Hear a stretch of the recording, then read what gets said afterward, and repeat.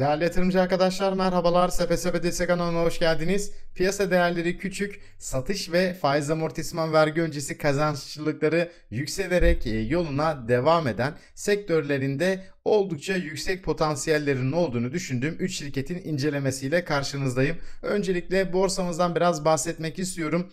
Doların atağıyla beraber borsamızda da yukarı yönde bir seyir oldu ama bu durum e, şu anda günlük grafikte e, hala e, trend e, pozisyonu gelmedi. Bakın e, zirveler bir sonraki bir öncekinin altında kalma devam etmekte. Yine diplerde de bir öncekinin daha da altında kalacak şeklinde düşen trend devam ediyor. O yüzden dikkatli olmakta fayda var. Burada Ichimoku bulutu da bir direnç pozisyonunda yine 8. pozitif mum da gelmiş durumda günlükte. Kritik bölge. Bakın e, bu pozitiflerden sonra bir zikzaklamalar da gerçekleşiyor. Tam da Ichimoku bulutuna denk geldi. Yani bu hafta oldukça kritik bir karar haftası. Yine buradaki düşen trendini teyit eden aşağı yönde bir süreç gerçekleşebilir. Yine bunu haftalıkta da Bollinger orta bandını bakın bu bölgede e, direnç olarak e, görüyoruz. E, bu uyarıda da bulunmak isterim. O yüzden şirketlerimizde bu dönemdeki bir yine düşüşte e, değer yatırımı şirketlerinde yer almak çok çok önemli olduğunu belirtmek isterim.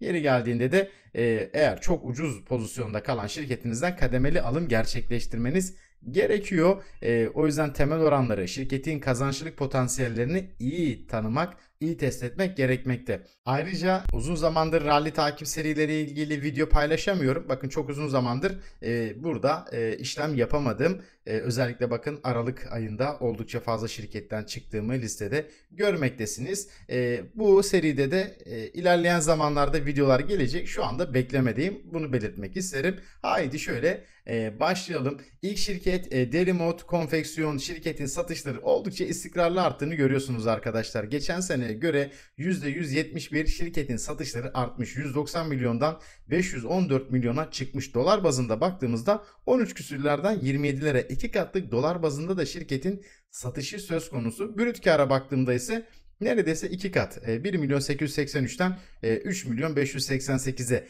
Şirketin satışlarına göre brüt kar arasında da e, yani çok ciddi fark var. Bu da aslında satışlarda bir e, brüt kar marjına, net kar marjına bir pozitif hafif bir değişim çok ciddi kazançlarında önünü açabilir. E, bu e, satış e, potansiyelini çok çok önemli gördüğümü belirtmek isterim. Şirketin bakın şu anda piyasa değeri 508 e, milyon. Şirket sadece bir çeyrekte 514 milyonluk satış yapabilmekte. E, kendi piyasa değerinden daha fazla bir çeyrekte satış yapabiliyor. Çok kıymetli. E, şirketin e, fiyat bölü kazancı 8,2 yani yatırmış olduğunuz miktarı 8 yıl gibi bir seviyede kazanmakta. Yine firma değeri bölü FAVÖ 4.14 bandında olmasını isteriz ki e, burada da FAVÖK'lerin oldukça güçlü geldiğini görmekteyiz. FAVÖ'de baktığımızda şirketin e, 41 milyon son e, FAVÖ var. Geçen sene aynı döneminde 18 milyonmuş. %128'lik yine artış var. Net karda çok ciddi zaten bir artış oldu. 5 milyondan 27 milyona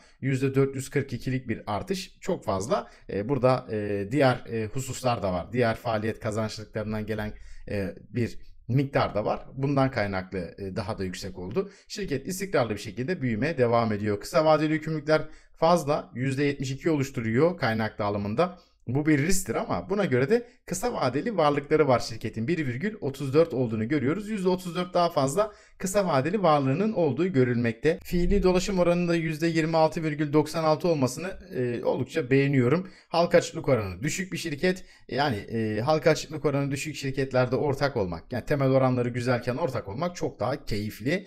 E, bunu da belirtmek isterim. Güçlü bir patron yapısı şirkette bulunuyor. Hemen devam edelim. Bakın e, giyim, tekstil, deri ürünlerinde fiyat bölü kazanç 14 ortalama var medyanda. Yine piyasa defter ortalaması 3,58. Şirketin zaten çok bu noktada ayrışıyor. 3,13 piyasa defter ortalaması. FK 8,2 idi. Sektöründen çok çok daha güzel e, bir seviyede temel oranları da bulunmakta. Derimot'un e, volatilitesi oldukça yüksek. Küçük bir şirket olduğundan dolayı mum boyları bakın çok daha uzun olabilmekte. E, şirkete aslında e, aylıkta ve haftalıkta bakmakta şu anda daha yarar var. Bakın aylıkta pozitif trend devam etmekte. Bollinger bandının üzerinde bulunuyor. Bakın daha önceki Bollinger bandı üstü bölgeyi görüyorsunuz. Ne kadar büyük bir ralliler verebilmiş. Yine hemen şuradan e, haftalığa da birlikte bakalım. E, tam kritik bir karar alma bölgesinde şurada Bollinger bandının üstünde bir pozitif. Şimdi buraya tekrar Bollinger desteğine geldi. Kritik bir bölgede olduğunu görüyoruz. Günlüğe baktığımda da yine 8. pozitif mumdan sonra bu zikzak süreci devam edebilir. Ama hani şirketin uzun vadede kıymetli görmekteyim. Hemen devam ediyorum. Bir diğer şirket Ege Plast. Ege Plast'ta da yine satışların bakın istikrarlı bir şekilde e, sürdüğünü görmekteyiz. Geçen senenin aynı dönemine göre %64 şirkette satışlar artmış durumda. Yine e, faiz amortisman vergi öncesi karı ise %48 arttığını görmekteyiz. Geçen sene zarardayken 12 milyon seviyelerine yakın şimdi ise 18 küsür milyon kazançlılık e, sağladığı görülmekte. Bakın şu e, zararın olduğu e, geçen senenin ikinci çeyreğiyle beraber şuradaki yıllık kazancını fiyata bölümünden arkadaşlar 13,79 e, yine zarar bir e, bilanço olmasına rağmen e, bu kadar küçük bir şirketin FK'sını fena görmüyorum. Bunu belirtmek isterim. Piyasa defter ortalaması 0,96 sektörüne baktığımızda e, bu seviye arkadaşlar 3,19 imalat sektörü için. Kimya ve plastik sektörü 2,96.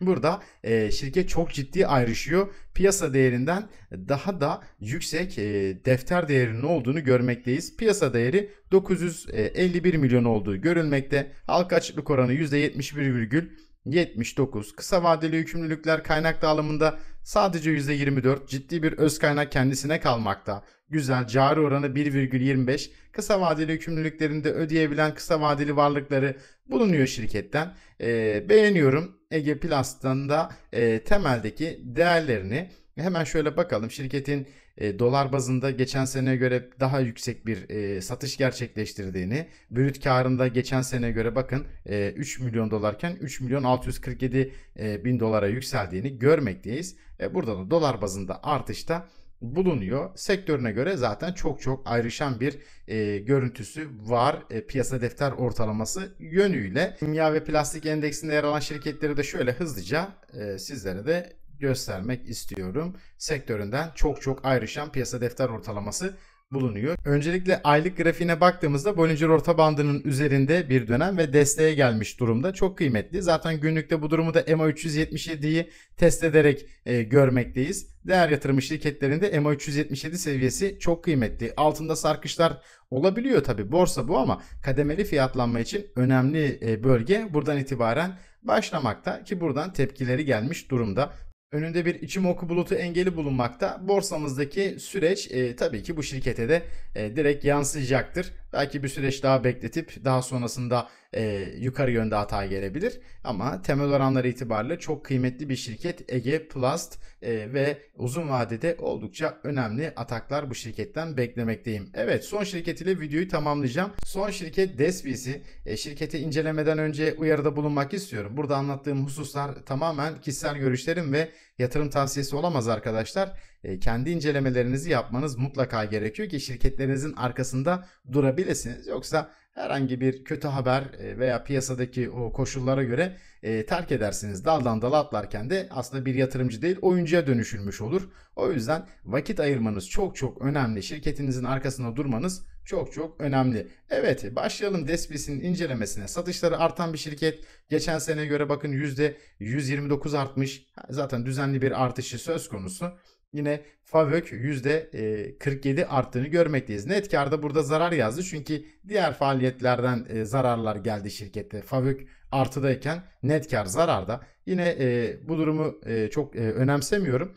Fiyat bölü kazancı 11,71 olabiliyor buna rağmen gayet güzel bir seviye. Kısa vadeli yükümlülükleri kaynak dağılımında fazla %77 oluşturuyor ama kısa vadeli varlıkları da %28 daha fazla. Herhangi bir sorun bu bölümde e, bulunmuyor. Fiili dolaşım oranı %50 olduğunu görmekteyiz. E, güzel. Piyasa değeri küçük bir şirket. Bakın 433 milyon piyasa değeri bulunmakta. Şirket e, bir çeyrekte 567 milyon satış yapabiliyor. Yani piyasa değerinden çok daha fazla bir kalemde bir çeyrekte satış yapabilen bir şirket. Çok e, önemli burada e, net karlar anlamında potansiyelleri de barındırıyor. Çok hafif e, bir net kar marjı, brüt kar marjında artışlar çok önemli kazançların da önünü açabilir. Çünkü bu şirketler daha büyük paralarla oynuyorlar. Bunu belirtmek istiyorum. Bu potansiyel var bu şirketlerde. Hemen sektörel karşılaştırmasına da birlikte bakalım. Sektöründe e, bilişim yazılımda FK 12,22 bir tık daha iyi DSP'sinin. E, piyasa defter ortalaması sektörünün 3,63, DSP'sinin e, 2,33. Sektöründen çok çok daha iyi bir piyasa defter ortalaması karşımıza çıkmakta. Yine firma değeri bölü FAVÖK bakın 4,69 sektöründen işte asıl burada ayrışıyor şirket. Hemen göstermek istiyorum. Sektör ortalaması 10,87. Ee, çok da kıymetli bir veridir firma değeri bölü FAVÖK. Burada da ciddi potansiyel var. Evet e, geri pay alım süreci de bulunuyor şirketin. Daha alım yapmadı ama 20 milyon TL'de bunun için e, miktar ayırdı. 20 milyon TL'de arkadaşlar şirketin piyasa değerine göre güzel bir miktar. Hemen ona bir daha göstermek istiyorum. 433 milyon zaten piyasa değeri var. 20 milyon yani %5 daha halka açıklığı aşağı yukarı azaltması anlamına geliyor 4-5 oranında. E, güzel bir e, alımda şirket hedeflediğini belirtmek isterim. Evet e, şöyle hemen şirketin tekniğine devam edelim. Öncelikle aylıktan bakalım. Aylıkta Bollinger orta bandının üstünde e, güzel bir bölgede trendi devam etmekte. Zaten e, bir süredir nerelerden beri gelmiş trend 10 lira 76 kuruştan itibaren üst bölgede. Mesela şurada çok ciddi rally var yine. E, çok e, Bollinger orta bandı güzel rallileri bizlere sunmakta. Bakın ne kadar güzel destek çalışmış. Şöyle ralliler verebilmiş. Yine haftalığa bakalım. Şunu tekrar aşağı çekelim.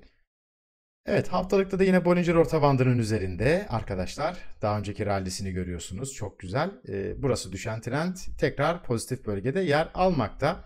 Ee, günlüğe baktığımızda ise MA55, Bulut, MA144 hepsinin üzerinde bir süreç söz konusu. MA55'ten de destek almış durumda. Şu anda trendi e, pozitif olan az şirketten bir tanesi olarak dikkat çekiyor. DSPC'den de uzun vadede oldukça güzel performanslar bekliyorum. Öz sermayesini güzel bir şekilde büyüten bir şirket. Evet arkadaşlar anlatmak istediklerim bunlardı. Umarım faydalı, keyifli bir içerik olmuştur.